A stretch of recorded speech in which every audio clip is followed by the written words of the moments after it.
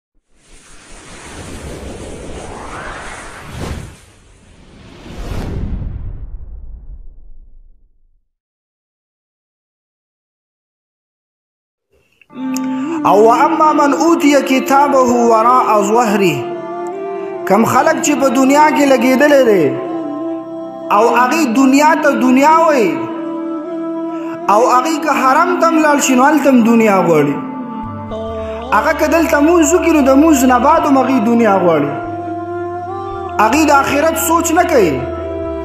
نو الله وی ما له فی الاخرته من خلاق دی خلق لا په آخرت کې هیڅ برخه نشتا بس د دنیا سپی د ځان احساس کړی دي او د دنیا د غسپو ته د دنیا په مقدار ور سمیلو شو باس ختم الدنیا جیبت و طالبوها کلابون کم خلق چې په دنیا کې محض د دنیا د پاره ژوند تیری د آخرت سوچ وسره نشتا هغه که خپل پټی له وبراولي هم حرام وبراولي پردی وبو تراله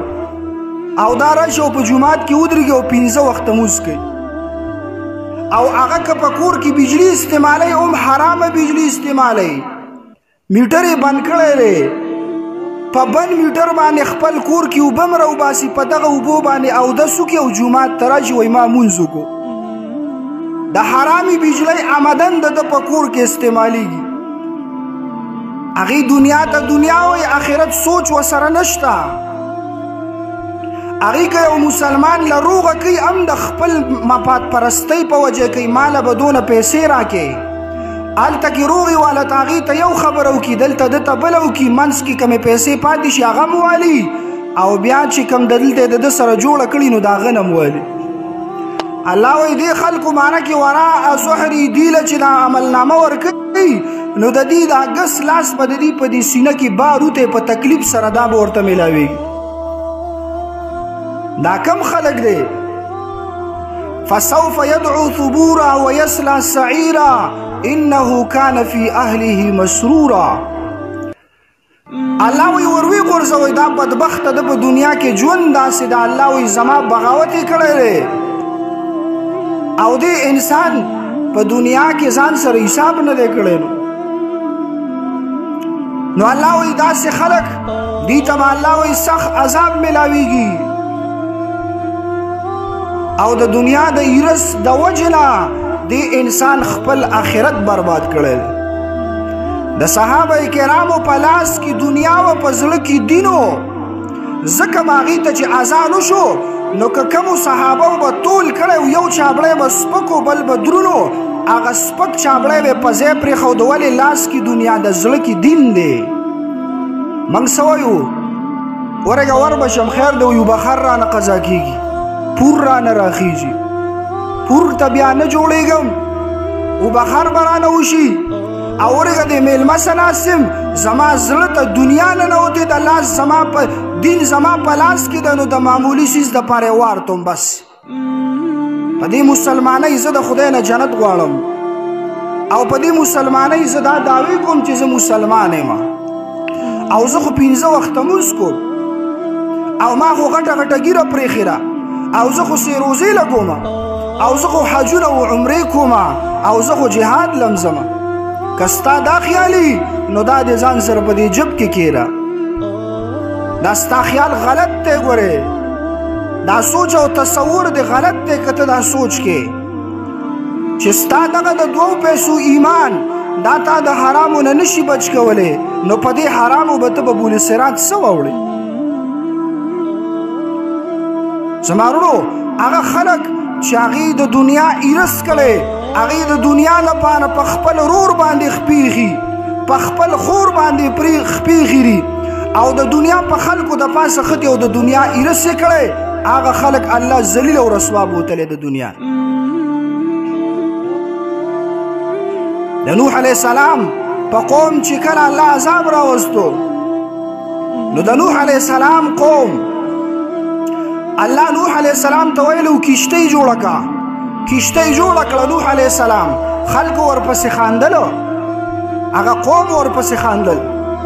نوح علی السلام کیشته جوړه کړه او په کیشته کې خپل چې کم مسلمانان ملګری وو دوا تیا یا درې تیا کسان دا ټول کېنول ځان سره په کیشته کې او هغه خلک هغه د د سره یو یو جوړې د زناورو نم راوخې جوړ کیشته ته غټه کیشته او سواله خو نه نو په دغه دوران کې یو بل سپینګیره سړی هم راوختو نو خپل ملګری خپل کسان پیژني نو هغه وکتو چې وی قتل د نوح علی السلام د ملګرو چې وکتل چې دا خو ناشنا سړی دی نو کله کې ونی نوح علی السلام له بوتو ورته وی د الله پیغمبره دا پلان کې سړی راخته دی دا څوک ته منګې نه پیژنو نوح علیه السلام ونیو د مټه ورته وایي زر راته وایه څوک یې هغه ورته وایي زه ځان درته نه ښیم وایي ما پرېږده یو دوه خبرې به درته وکړم وایي خبرو سره به بیا ګورو دا راته وایه څوک یې هغه ورته وایي زه شیطان یم نوح علیه السلام ورته وایي د خدای تعالی ظالمه ستا د لاسه خو نن په دې قوم عذاب راغی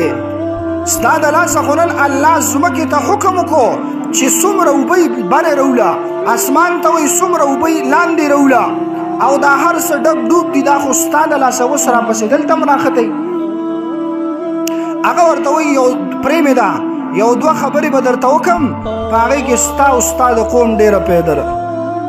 ښځه وکړه راته هغه شیطان لعین ورته وی نوح علیه السلام ته وی ورته وی د خپل امت ته دی وایا چې یو حسد مکوي او دویم ورته دا وایا چې تاسو حسد مکوي او دویمه خبره ورته دا وکړه ایرس مکوي ځکه نوح آدم علیه السلام چې الله کله پیدا کو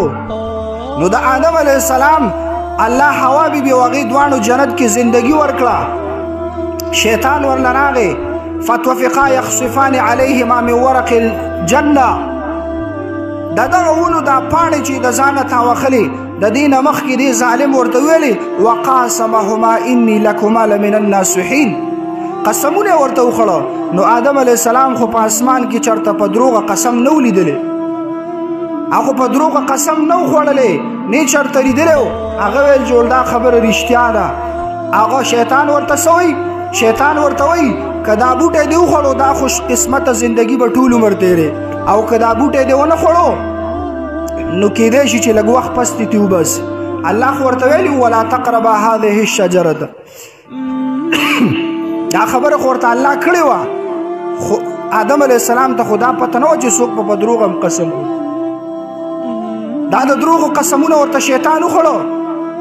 آدم علیه السلام نه لغزش شو هغه پاڼه یې راوشو کوله هغه دانه وخوړله الله د جنت لباس ویستو دنیا ته راولېږل اګر چې په دې کې د الله یو راز و ځکه جنت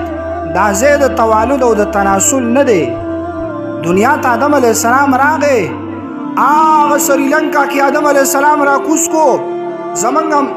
مور به حوا بی بی په جده کې را کوس کړه او د عرفات په میدان کې د هغې دواړو ملاقات بیا وشو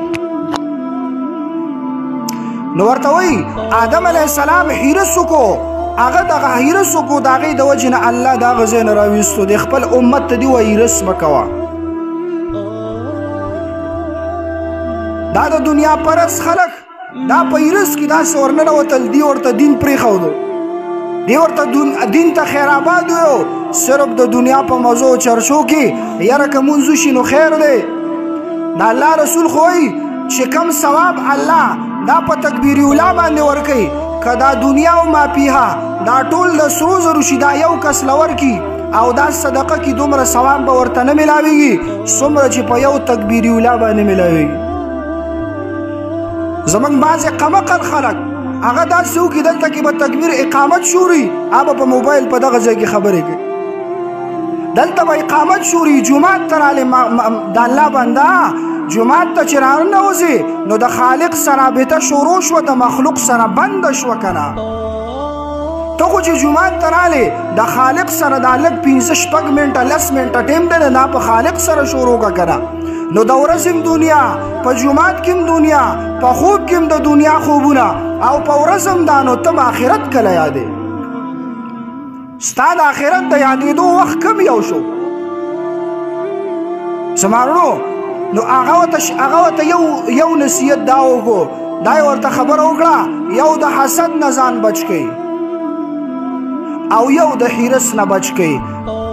او ما حسد وکړو حسد می څنګه وکړو ما ته الله حکم وکړو چې دی آدم علی السلام په طرف باندې سجده وکړه نو ما سجده ونه کړه ټولو پرشتو سجده وکړه ما سجده ونه کړه ولی زما په زړه کې باندې تکبر راغی ما خو الله ته ویل چې خلقتنی من نار و خلقته من طین زه د اور نه پیدا کړم د اور کمال لري چې دا برزي دا اوچت خيږي زه اوچت ما د زمکه د خاورې د خاورې داغه کار داره اپ زمکه باندې پاغي خلک خپیګ دي نو ته څنګه ماته وی چې هغه دی او دی د